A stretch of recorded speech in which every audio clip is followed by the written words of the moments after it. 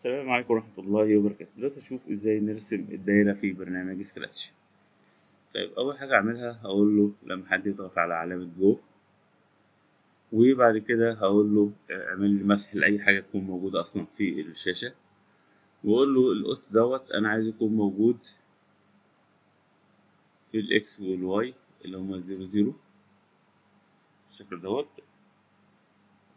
طيب وبعد كده أقول له أنا عايزك تكرر لي 360 مرة الحاجة اللي أنا هقولك عليها.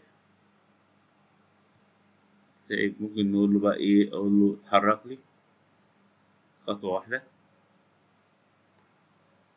وفي نفس الوقت اعمل لي زاوية أو لف لي بمقدار 1 ديجري طيب وأقول له البن هنا أقول له بن داون بس خليها برة الريبيت ونبدأ نشغل. ونلاقي القطة وبيرسم الدايرة زي ما أنت شايف.